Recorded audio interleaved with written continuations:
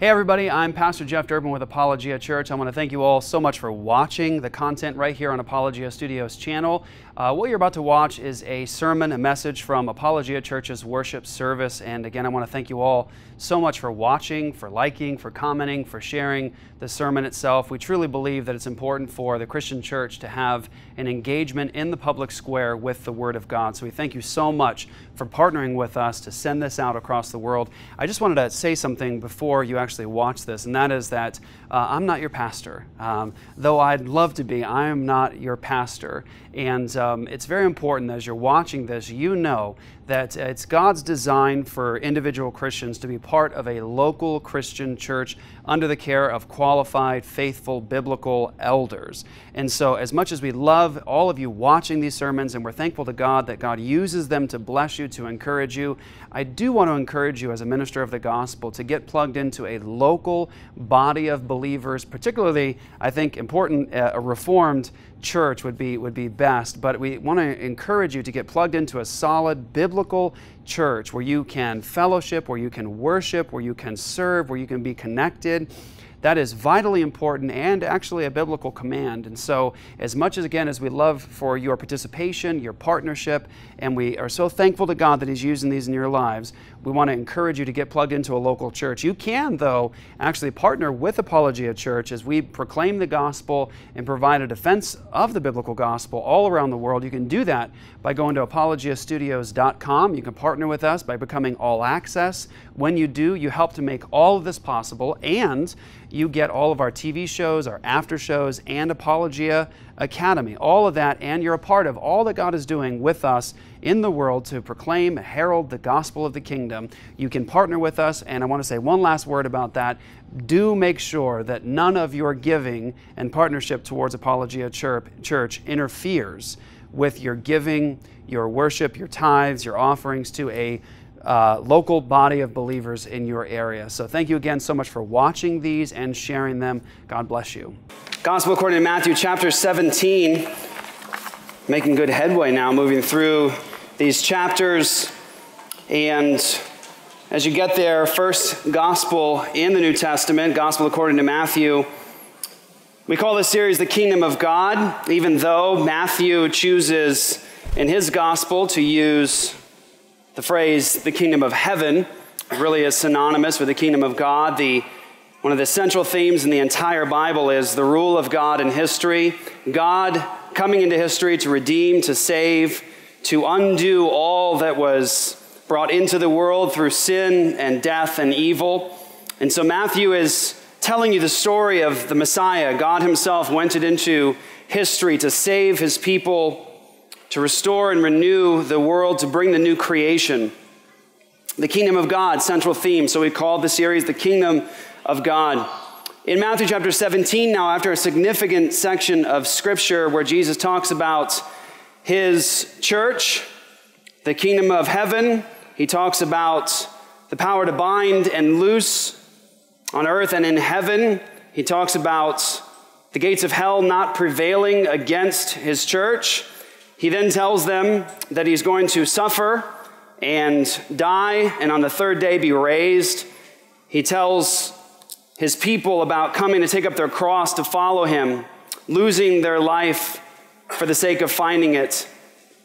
He tells them that the Son of Man is going to come with his angels in the glory of his Father, and then he will repay each person according to what he has done. And he promises them, Truly I say to you, there are some standing here who will not taste death until they see the Son of Man coming in his kingdom. And now we open Matthew 17 on the tail of that. Hear now the words of the living and the true God. And after six days, Jesus took with him Peter and James and John, his brother, and led them up a high mountain by themselves. And he was transfigured before them.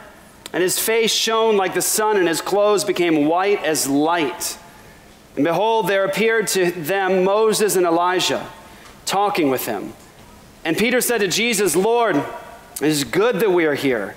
If you wish, I will make three tents here one for you, one for Moses, and one for Elijah. He was still speaking when, behold, a bright cloud overshadowed them, and a voice from the cloud said, This is my beloved Son with whom I am well pleased. listen to him. When the disciples heard this, they fell on their faces and, they, and were terrified. But Jesus came and touched them, saying, Rise and have no fear. And when they lifted up their eyes, they saw no one but Jesus only. And as they were coming down the mountain, Jesus commanded them, Tell no one the vision until the Son of Man is raised from the dead. And the disciples asked him, Then why do the scribes say that first Elijah must come? He answered, Elijah does come, and he will restore all things. But I tell you that Elijah has already come. And they did not recognize him, but did to him whatever they pleased. So also the Son of Man will certainly suffer at their hands. Then the disciples understood that he was speaking to them of John the Baptist. Thus far as the reading of God's holy word, let's pray together as a church. Father, we come before you, Lord, as your people, Lord, humbled by the privilege that we have to have your words in our hands. Thank you, God, that you've gifted us this revelation, that you speak to us. Lord, you speak to all your people all over the world and all throughout time, Lord, through your revelation, your self attesting revelation. Thank you, God, that you have given us the grace to know you, to be forgiven in Jesus. Thank you, Lord Jesus, that you gave your life for us. You rose again from the dead, that you're ascended and seated on your throne. Thank you that all your promises are yes and amen, that you keep your word always. You cannot lie. Thank you, Lord, that you have brought us to yourself. We pray, God, by your Spirit, that you would teach us today, Lord, in your word, that you'd remove, Lord, the element of this jar of clay, a person who has no earthly right being here holding your word in my hands or telling anybody about it. Pray, God, that you would teach through by your Spirit, that, Lord, you'd guard my mind, my heart from error, that you'd build your church up, change us, cause us to love Jesus more. And Lord, I pray that you would invigorate us, energize us by your Spirit, teach us your word, and then let those wonderful things come from our mouths. In Jesus' name, amen. So, Matthew chapter 17, Jesus now has told his people that some of them standing here will not taste death until they see the Son of Man coming in his kingdom. So, you see this really throughout the New Testament. You see it quite a lot, actually, and it causes no small controversy amongst Christians in terms of how do you manage that? How do you manage the fact that Jesus did teach the Bible does teach that Jesus was going to return in that generation before they all had died. You see it in particular a lot through the gospel according to Matthew, this emphasis upon this impending judgment upon that first century generation. Your Bible, Matthew kicks off Matthew chapter 3 with Elijah, John the Baptist, coming in, first words out of his mouth Repent for the kingdom of heaven is at hand. Repent for the kingdom of God. The rule of God is at the fingertip reach. It's right there at the reach. It's here now. Repent, turn, have a change of mind. God's rule is now breaking into history. That's chapter 3 of Matthew.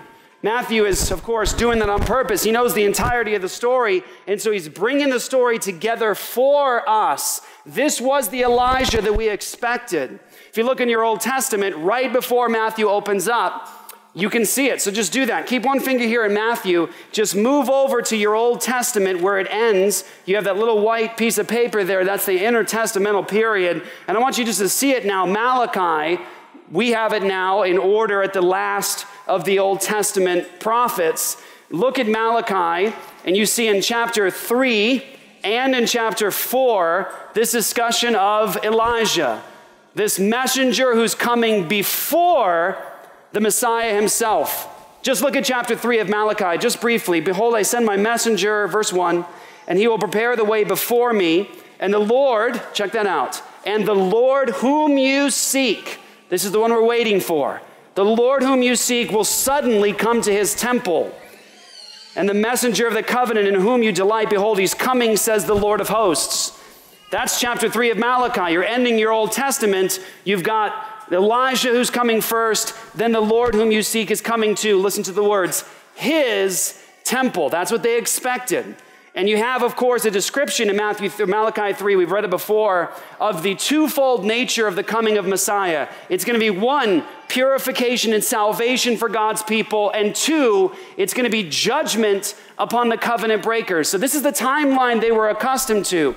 Elijah comes first, and then the Messiah comes to his very temple. It's a twofold nature. It is one, judgment, two, purification and salvation. These things are all wrapped up in the coming of the kingdom of God in history. In Malachi chapter 4, look there, verse 1 Behold, the day is coming burning like an oven, oven when all the arrogant and all evildoers will be stubble. The day is coming that shall set them ablaze, says the Lord of hosts, so that will leave them neither root nor branch. But for you, look, see twofold again judgment, but for you who fear my name, the Sun of Righteousness shall rise with healing in its wings. Do you catch it? Twofold nature of the coming of Messiah the messenger, the forerunner, Jesus, and then there's going to be judgment and salvation. And now enter Jesus in the text before us. Matthew chapter 17, you see Jesus going up to the transfiguration, but before that, you have that consistency with the Old Testament revelation. Jesus is going to judge the covenant breakers. The kingdom of God is going to break into history. Some of you will not die until you see the Son of Man coming in his kingdom. Again, all of this consistent with the Old Testament revelation. What did they know about the Son of Man? Well, they knew Daniel. Daniel chapter 7, verses 13 through 14. Daniel's night visions, one like a son of man, comes up to the Ancient of Days. He's presented before him, and to him, the Son of Man, is given dominion, glory, and a kingdom that all the peoples, nations, men of every language might serve him. His dominion is an everlasting, eternal dominion. It'll never pass away. His kingdom, his rule will never be destroyed. And isn't it amazing? In Matthew 16, Jesus just told Peter what? About his kingdom. He says, I will build my church, and the gates of hell shall not prevail against it. That's consistent with that Old Testament revelation. This is the Messiah that they expected. Although there were certain things about Jesus coming that they just couldn't understand. What do you mean you're going to die? What do you mean you're going to rise again? Peter's trying to tell Jesus it'll never happen, and Jesus says, Get behind me, Satan. What's amazing is it wasn't that the Old Testament revelation didn't tell them this, it was that it was so glorious, huge, complex, complex, and perfect and amazing, they couldn't have possibly understood it all, which makes Jesus and his earthly ministry so powerful. Why? Because if you read in the Gospels, John chapter 1 in particular, where it gives you this revelation of who Jesus is, in the beginning was the Word, and the Word was with God, and the Word was God. The same was in the beginning with God. It says that all things came into being through Him, and without Him, nothing came into being that's come into being. And it says, and the Word became flesh and dwelt among us. We beheld His glory and then it tells us that grace and truth came through Jesus Christ. It's a powerful testimony in John chapter 1. I want you to see it. Keep your finger there in Matthew just to get an explanation of just what is happening here in Matthew 16 and 17. So, finger here in Matthew 17 and move to John. Over to your right, Matthew, Mark, Luke, John. Very, very interesting gospel, different than the synoptics, different than the first three in many respects. But I want you to see it because it goes along with everything happening here in Matthew 17 in terms of this. Watch. The Father says to the disciples, This is the Son of my love. I love him. I am pleased with him. Listen to him. In John chapter 1, John gives that same story, same thing. It says in verse 14, And the Word became flesh and dwelt among us, and we have seen his glory glory as of the only Son from the Father, full of grace and truth. John bore witness about him and cried out, that's John the Baptist. John bore witness about him and cried out, This was he of whom I said, He who comes after me, watch, here it is, ranks before me because he was before me. And from his fullness we have all received grace upon grace. For the law was given through Moses, grace and truth came through Jesus Christ. No one has ever seen God, the only God who is at the Father's side. Did you catch that? The only God, Jesus, who is in the bosom of the Father. He has made him known. The Greek words there behind that, he has made him known, are essentially the same thing we talk about when we talk about exegesis. What's that? What's that mean? Drawing out of the text. What does it mean, right? God's word speaks and we draw out of the text. We don't add our stuff into the text and eisegete the text. We have it explained to us, draw out. So in this text here, we see that John says, He ranks before me because He was before me. He is Jesus, grace upon grace. And He says, What? He says He's at the Father's side, and He, Jesus, has explained the Father to us. Jesus, watch, exegetes the Father. He exegetes the Father to his people. He explains this is what the Father is like. Just consider for a second Moses, prophet, amazing prophet of God. Wow. All of us, if we can, if we, we have to confess, if he walked in this room today, we would probably be so in awe. We'd probably do the same, kind of fall to our knees, saying, Let's build a tent, let's do something to like commemorate this moment of Moses or Elijah or David or Isaiah or Jeremiah. These are amazing prophets of God, but you know what they're not? They're nothing like Jesus.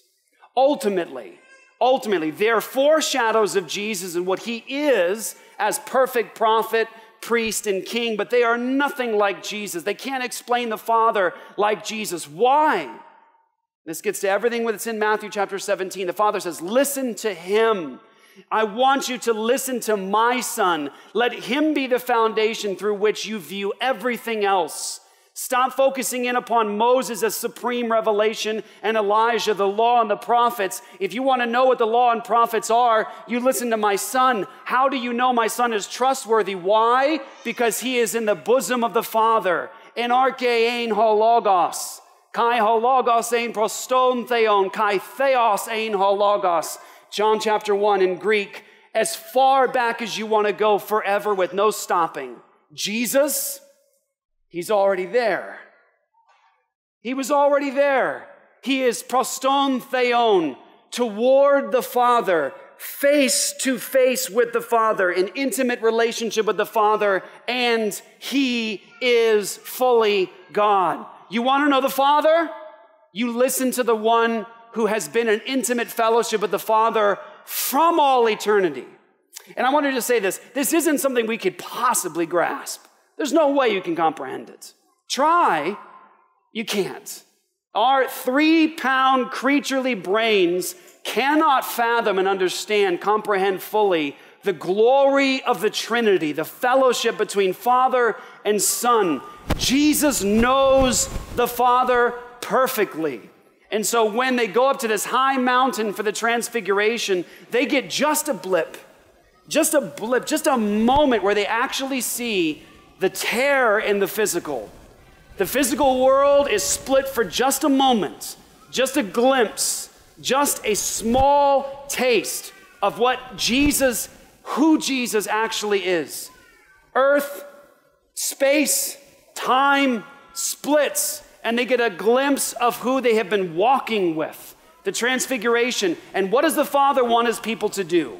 Not to build a tabernacle for Moses and Elijah and memorialize them ultimately. You have my son, the son of my love, the one that I am pleased with. Listen to him.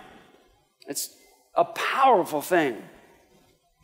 You see, what's, what's what's important for us to get is this about the scriptures, and it's going to come back always at Apologia Church. We're always going to talk about this. The Old Testament, glorious revelation of God, still, contrary to popular preachers of today, still relevant today, still true today, still to be appealed to today. Still and always, it is the Word of God and it is always true. However, when you look at the Old Testament revelation, what you're looking at is the beginning of this grand revelation of God, this potent revelation of God. You have Moses, a prophet who speaks with God on a high mountain with the glory cloud of God, receiving stone tablets from God to reveal to the people of God. The law of God, which could not save anybody, but the law of God, which is good, which God says in Deuteronomy 4 was supposed to be their wisdom in the sight of the peoples. People were supposed to see the law of God given from Moses to the people of God, not as a curse, but as their wisdom. People were supposed to see the law of God and they're supposed to say, My goodness, what nation is there that has a God so near to them as the Israelites? And what nation is there that has laws, justice, statutes so wise and perfect as this law? However, the thing is, you still have the problem of sin. The people of God are still in sin. The people of God haven't experienced what you and I have today the resurrection that we have today, being made alive with Jesus, joined together with Him in His death and His resurrection. They haven't experienced the outpouring of the Spirit of God. They have Moses, they have word from God, that's a blessing, but they still have something else. What do they have? Physical temple. It's a temple that somebody can knock down, and it was knocked down in history, destroyed, set on fire gold melting between the cracks. It's taken down. They have a city that can be destroyed, not a heavenly city yet, a temple that can be taken down. They have a priest who's a sinner who has to offer sacrifices for himself first. They have prophets of God, priests from God. But these guys come and they go. They live and they die. Yom Kippur is the day of atonement. And when does it happen? Yom Kippur, annually, every year. It's a reminder this isn't done. This isn't okay. We're not right. How do I know? Because you know what? There's a holiest place that I can't even enter. And God builds this sanctuary to display what? A ritual to remind us. God, watch this. Here's what's important. Watch. The temple and the Holy of Holies, what? Heaven. Heaven itself can't contain God. Did you get that? Heaven itself can't contain God. God isn't stuck in the holiest place in the Old Testament. He's not hanging out there, not able to escape. It's a ritual, it is a walking through a sign. The priest is going in before the people of God to represent them before God, and he's going before a veil that blocks them from the holiest place. It's supposed to shout to God's people, It's not done. There's something between you and I. It's not as though our God is contained in this perfect box shaped room. It's not as though the animal sacrifice is taking away any sin. The blood of bulls and goats could never take away sin, and they knew it. Why? That thing is an image of God. That goat, the scapegoat, is not the image of God. That thing they're leading away from the people of God to watch their sins depart from them as far as the east is from the west, that's not image of God. That animal dying without spot and blemish is still not image of God. This is all patterns. It's all dress rehearsals. It's all rituals to do what? To testify about something far superior and more beautiful and more eternal. Because what do you have now in Jesus? The perfect prophet? What do you have now in Jesus? The perfect priest. What do you have now in Jesus? You have what the forerunner, Elijah, John the Baptist, said of him. What happened when they first introduced Jesus and John the Baptist testifies as a matter of history about who it is that they're dealing with? He says, Behold, the Lamb of God who takes away the sin of the world. This is what we are waiting for. Just consider it Moses, amazing prophet of God. Elijah, representing the prophets, amazing prophet of God. Elijah's the man, he's the bomb. He is, seriously. If Elijah had a church today, you should go to his church because he's the man. He really is. But you know what's amazing about these two prophets? All they could do is lay down the rudimentary things. Because what? Jesus, who's in the bosom of the Father, hasn't come yet. He's not there yet. All they can do is give you the ritual, the symbol, and it is so rich. Just consider Moses for a second. What Moses telling to do? Moses says, Get a lamb, no spot, no blemish. They don't know why. All they know is God says, and I do. That's it. He says, I do. I don't know why. He says, Get a, a lamb, no spot, no blemish. Got it. Check. Lamb, no spot, no blemish. By the way, don't break its bones. Okay? Don't break its bones. No spot, no blemish, check. Don't break its bones, check. Then take the blood of the lamb, no spot, no blemish. You haven't broken its bones? Haven't broken its bones. Okay, take the blood of that lamb now and you put it over your doorposts.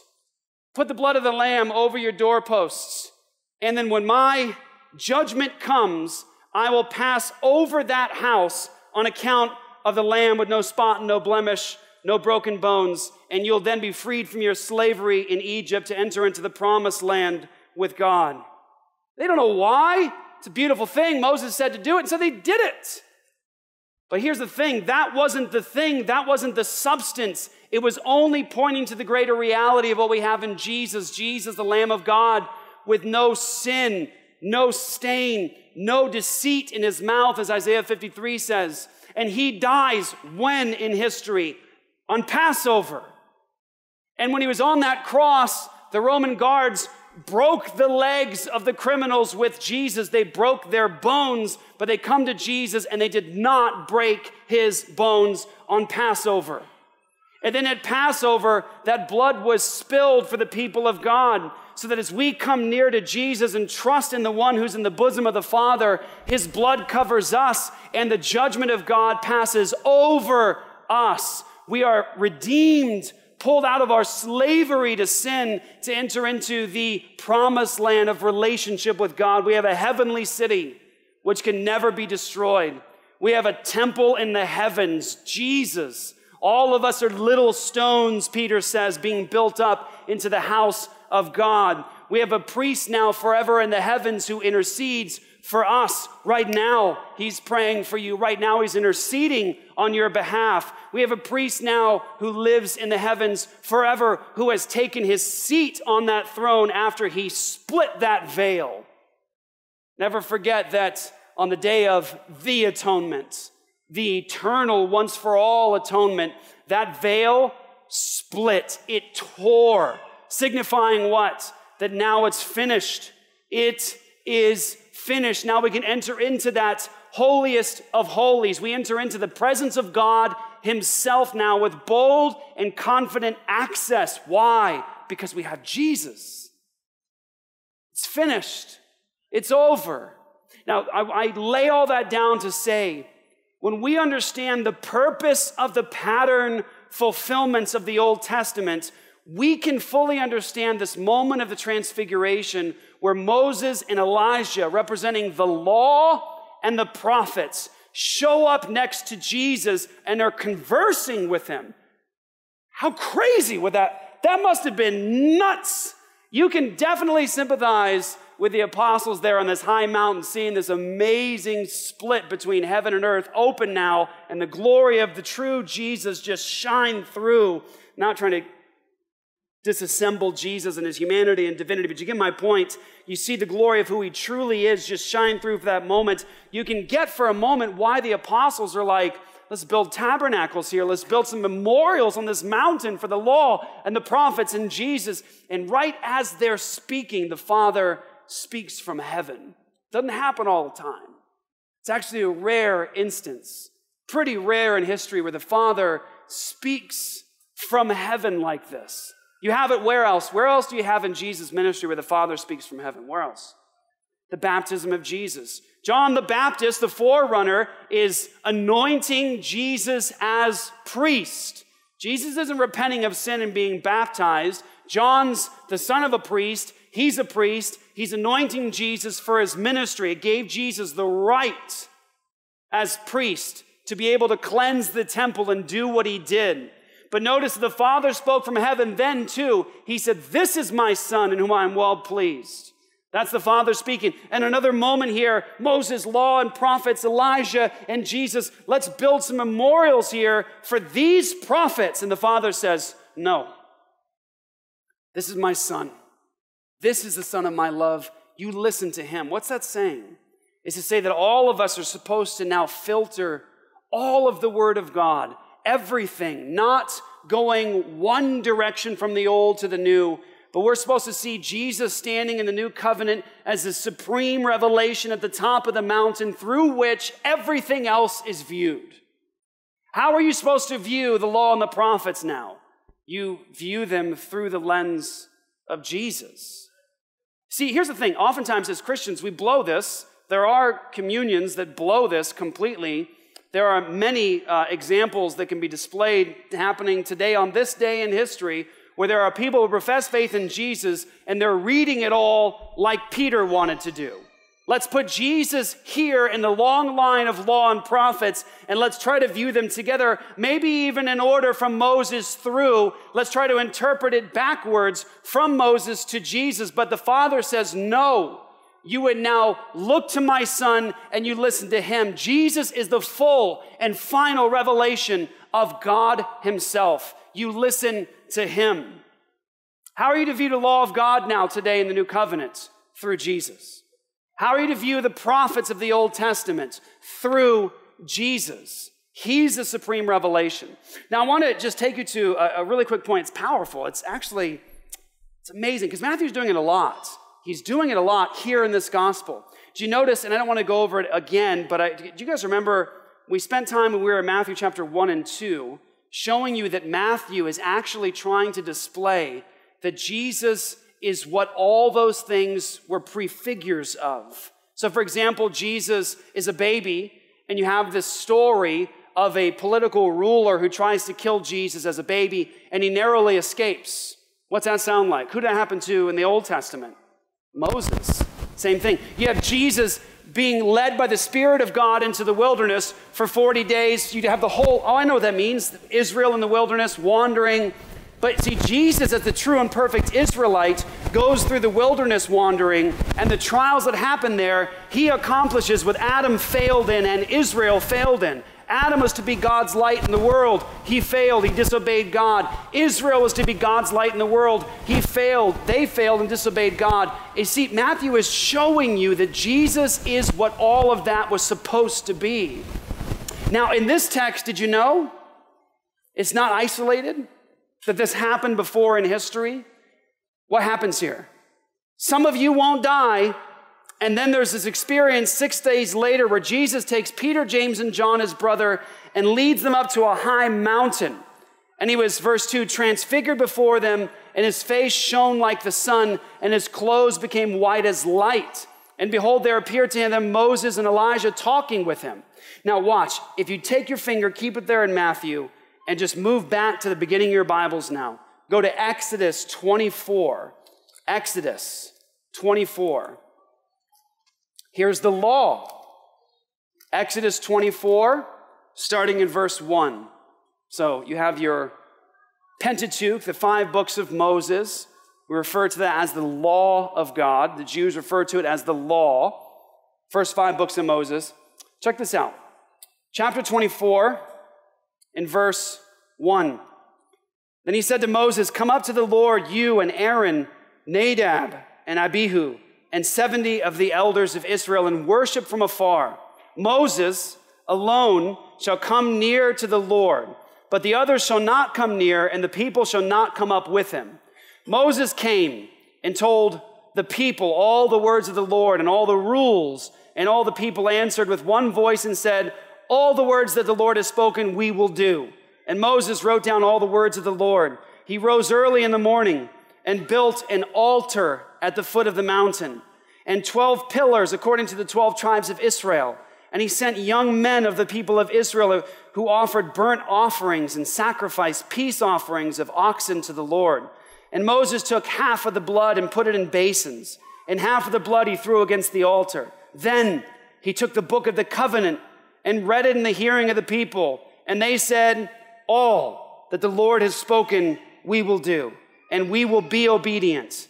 And Moses took the blood and threw it on the people and said, Behold, the blood of the covenant that the Lord has made with you in accordance with all these words.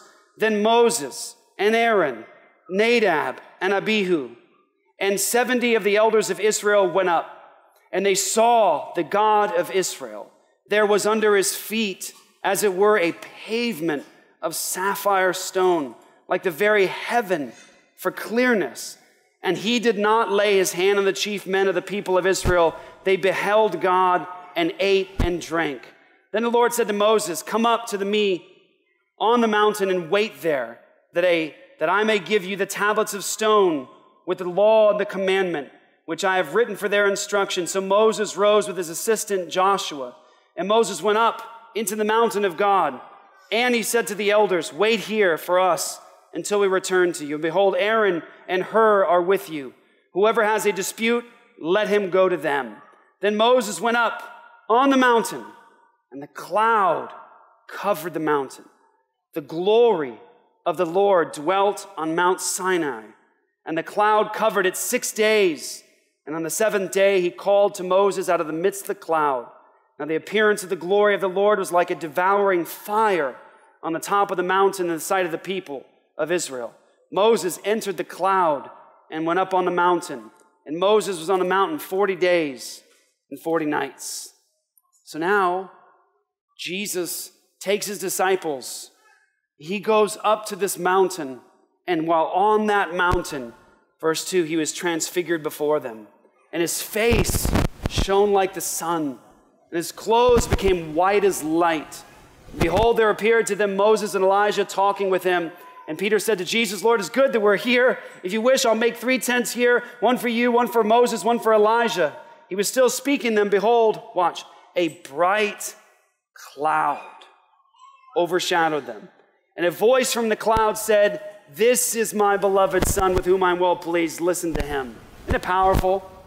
In the Old Testament, they can't foresee this moment with Jesus. They go up to this mountain. Moses is there, the cloud is there, the glory of God. They are just in awe of this moment. God gives them the law, the covenant. They say, We'll do all these things. And now, in this moment with Jesus, his kingdom's coming. He takes his disciples up, and that cloud is there. They get to stand in the midst of the story now with Moses and Elijah and Jesus. And the Father says, Now, listen to him. Listen to my son. Do you know Peter talks about this moment? Jesus says, Don't tell anybody. Don't tell anybody until I've risen from the dead. Don't do that. Don't tell anybody. But Peter did actually talk about this moment. So I want you to go to your Bibles now to 2 Peter 1. Listen to what Peter says about it. 2 Peter, near the end of your Old Testament, chapter 1. I'm, actually, I'm actually going to read a little further above, and that's in verse 14. No, 13. Okay, 2 Peter chapter 1, verse 13. Here's what Peter says. This is near the end of his life. I think it is right, as long as I am in this body, to stir you up by way of reminder, since I know that the putting off of my body will be soon, as our Lord Jesus Christ made clear to me. You know where that was? If you read the end of the Gospel of John, just mark it down, read the last chapter of the Gospel of John, and you see the interaction between Jesus and John and Peter, and it's a prophecy of Jesus there at the end of the Gospel according to John where Jesus tells Peter that he's going to be martyred. He's going to die for his faith in Jesus. He just reconciles Peter to himself, and then he tells him that when he is older, someone's going to take him where he doesn't want to go. He's going to die as a martyr. And of course, Peter in that moment looks over to the other disciple and he says, What about him? He goes, What about him? And Jesus says, Watch, this is big. It goes along with everything I'm saying in terms of the imminent judgment in the first century church and generation. Jesus says to Peter, when he tells him he's going to die, and then Peter says, What about John? He says, If I will that he remains until I come, what is that to you? You follow me. If I will that he lives until I return, what? In judgment. What's that to you? What business is that of yours, Peter? You follow me. That's another example, by the way, of the fact that Jesus was clearly telling his disciples that he was returning in that generation to judge. If I want John to be around until I come back to judge, that's none of your business, Peter. You follow me. By the way, do you know who the only disciple was? This is awesome. It's awesome. Do you know who the only disciple was to live through the destruction of Jerusalem and die of his old age? You know the only one to survive all of that? It was John. He did live to see Christ come back in judgment on that generation. All the other apostles, they all died. John survived. And we know from history, John actually did take care of Jesus' mother Mary, and he buried her in Ephesus. John survived Nero tried to kill him, he failed. He sent John into exile to Patmos. That's another sermon to give. But here we go. Here's Peter, verse 16. He says, I know I'm about to die. Verse 16, we did not follow cleverly devised myths when we made known to you the power and coming of our Lord Jesus Christ, but we were, here it is, eyewitnesses of his majesty.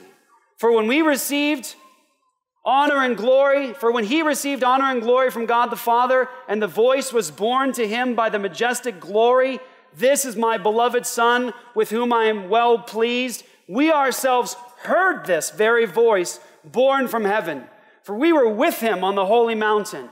And we have something more sure, the prophetic word to which you will do well to pay attention as to a lamp shining in a dark place until the day dawns and the morning star rises in your hearts. See that? That's Peter now talking about that experience on the mountain. He says this about Jesus We were eyewitnesses to his majesty. You see, what's amazing about the life ministry of Jesus is that none of this is private revelation. Watch. What's the law of God say concerning accusations or claims being made? Receive no accusation against an elder unless it's on the basis of what? Two to three witnesses. What's the law of God in terms of confirming something? What is it? Two to three witnesses. What did Jesus bring up with him on that mountain? Three witnesses. Jesus brought the witnesses, and Peter's saying this this isn't a fable, this isn't a myth. I'm not telling you tales out of the schoolyard. I was an eyewitness to Jesus. I saw his glory, and I heard that voice speak from heaven. I was an eyewitness to his majesty. Peter is telling you that story later on in his life before he's killed. He said, I saw him. I saw Jesus in his glory. And there's something about this moment that's just so peculiar. You know what it is? Because the life of Jesus, throughout his ministry, there's so much happening in the ministry of Jesus that tries to, well, I don't want to say try, it displays his humanity. So, for example, Jesus bled, right? Jesus got hungry. Jesus was beaten up. Jesus had his beard pulled from his face. They smashed a crown of thorns into his head. And I want to say this that hurt. Jesus, because he's God in the flesh, it didn't mean that his humanity was somehow diminished and he didn't feel that pain. The abuse was less for Jesus. When Jesus was a little boy, I imagine that Jesus got stomach aches. I imagine when, when Jesus hit puberty, Jesus got pimples. See, we don't think about that often, do we? Because we see Jesus as God. But you know what? It's always emphasized through and through that Jesus is a perfect representative for you because he's truly human, fully human. Jesus had chosen to have limitations, limitations that humanity offers. Jesus was God and man. But here's a shining moment in the ministry of Jesus up on this high mountain, the glory cloud of God, the law and the prophets, and the Father shouting from heaven, This is the Son of my love. I'm pleased with him. You listen to him. But this is a moment where heaven is opened and you see the glory of the Son of Man shining through.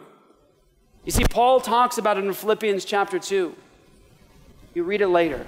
Paul talks about the nature of, the, of God taking on flesh. He said, Jesus, who's in the very form of God, did not consider equality with God a thing to be grasped or held on to. But what did he do? He emptied himself and he took upon the form of a servant. And he was obedient even unto death. And it's amazing because it's so complex, I don't understand it fully. None of us can the complexity of the incarnation. God, fully God, eternally God, omnipresent, full of wisdom, truth, power, justice, no sin, entering into our experience and coming into a mother's womb, being dependent upon breast milk. I don't get it. It's incomprehensible. God, as a man, as a baby, held in his mother's arms Mary being cautious not to drop Jesus. Mary being super cautious to keep an eye on Jesus' eating habits.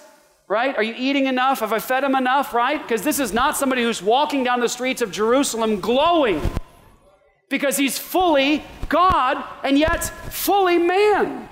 And in this moment, in the transfiguration, up on that mountain, here's this shining moment of the law and the prophets and the Father and pointing to Jesus, and then heaven splits for a second, earth splits, and you see this is who you're contending with. This is the majesty that really exists with Jesus. And it's super terrifying if you think about it, because all through Jesus' ministry, his life and ministry, not everyone got to see this glorious moment where earth and heaven open up and the glory of Jesus shines through. So you've got people challenging Jesus. Can you imagine if they had known that all God has to do is open up the heavens for a moment and they would have been on their faces, tearing their clothes, throwing sackcloth and ash? If they had known who they were dealing with, people who beat Jesus people who argued with Jesus, people who were trying to get Jesus turned over to the authorities, they had no idea what they were doing. But the glory of the incarnation is that this God, he humbled himself, he walks among us. And this is, I gotta tell you, that when I was preparing for this message, honestly, I had this moment, this real profound moment. And I don't, I don't know why it was so profound. I'm still trying to think about it. But I had this profound moment Whereas I'm reading this text and I'm thinking about how am I going to present this and I'm praying through it and I'm trying to figure it out to be a blessing to the church. The thing that got me the most this week, all of it's amazing. The thing that got me most is this moment where they are so terrified, so legitimately terrified, where all this stuff breaks open and they're just trying to figure out how to manage it. And they're saying, we'll build something for him and him and you. And then the Father speaks from heaven, and their response is absolute fear. They are so terrified that they're falling on their faces. They are so scared of this moment. And I love what Jesus does. This is what got me. Jesus comes over and it says, they fell on their faces and were terrified, but Jesus, but Jesus, but Jesus came and touched them, saying, Rise and have no fear. Isn't it amazing that these are human beings who are sinners before God. They hear the voice of the Father and they are so terrified. That's the voice of their Creator. They know who they are, they know who He is. And their first response to hearing the Father's voice is to actually fall on their face in fear. And I love what Jesus does for His people who are afraid of the voice of their Father. He comes and He watch. He touches them. I encourage you to study the ministry of the touch of Jesus all throughout the Gospels.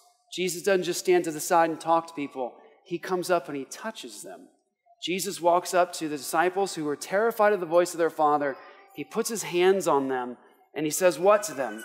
He says, Get up. You don't have anything to be afraid of. You see, because we don't just have the law and the prophets, but we have Jesus now, watch. There is no fear between the Father and us.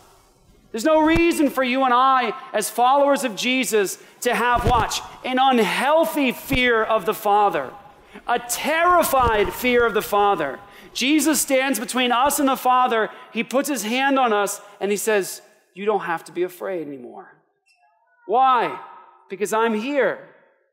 It's not just the law and the prophets, it's Jesus. Don't be afraid anymore. Jesus establishes, watch, a new way between us and the Father. Isn't it amazing? It's a powerful thought. Now, I want to just finish here by talking about a couple things, and then we're going to do our baptisms.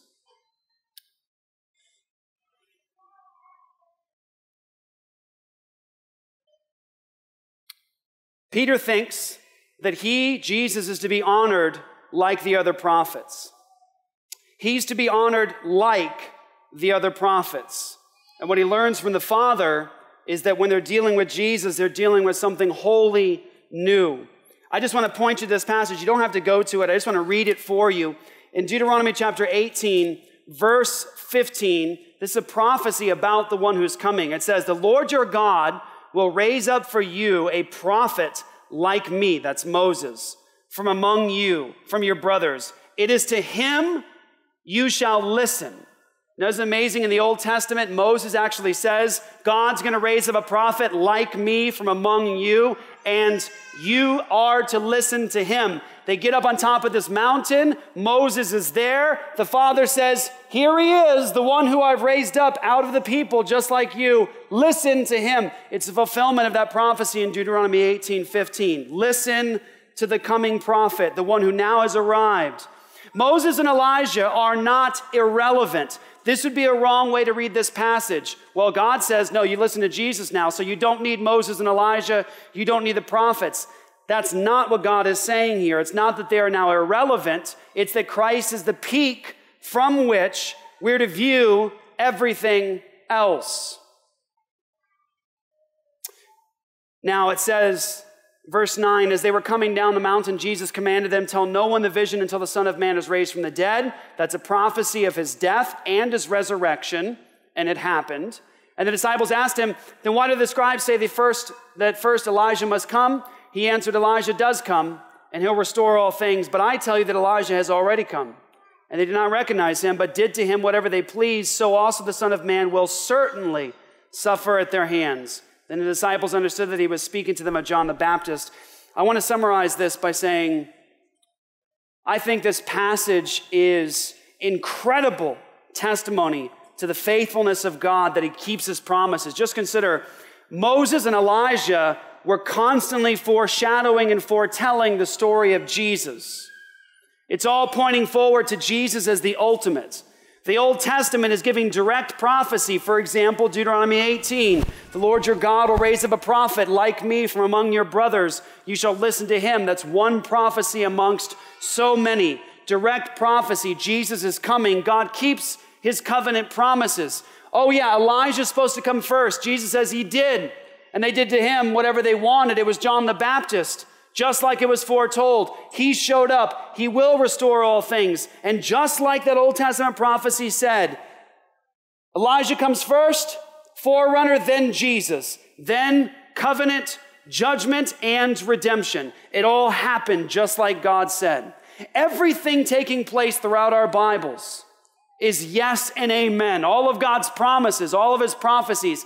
And not only watch in this moment do you have all these prophecies fulfilled in this one moment on a mountaintop and the glory of God shining through, but you also have Jesus once again testifying, I'm going to suffer, I'm going to die, I'm going to rise from the dead. They could not completely understand that, but everything Jesus said happened. God said the forerunner is going to come, Messiah is going to come, then they will be judged and redemption will follow. It all happened in the first century. Jesus says, I'm going to die and rise again. It all happens. So I want to end with this point. When you read a text like Matthew chapter 17 about the transfiguration, it's this swirl of pattern predictions fulfilled in this moment on top of a mountain.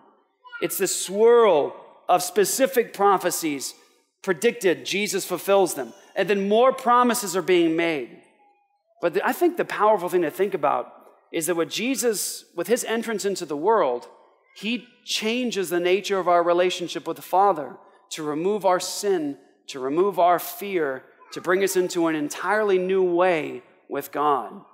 And all of his promises are sure and guaranteed, and yes and amen, and there's no question. So when I read this text, I think about God's faithfulness throughout time, and I think about my unfaithfulness, and I think about my inconsistencies, and I think about my failures as a follower of Jesus. I think about my failures as a father, as a husband, as a human being. I think about my sins and my inconsistencies. And I'm reminded in a moment like this on a mountaintop with Jesus that God doesn't have the same problems that I do. God is faithful to his covenant promises. God is faithful to all of his promises. When God says something's going to happen, it happens. Nothing can alter it. And there are times where I hear something from God, watch, and I think, wow, that's amazing. And I can tell in this passage, we don't understand the half of it. It is so much bigger and more glorious. And if we could just have heaven and earth split for just a moment, we would see that it's more than we ever thought it was. And it would change us. So, my question to you is this How do you respond to this moment in history that Peter says he was an eyewitness to his majesty?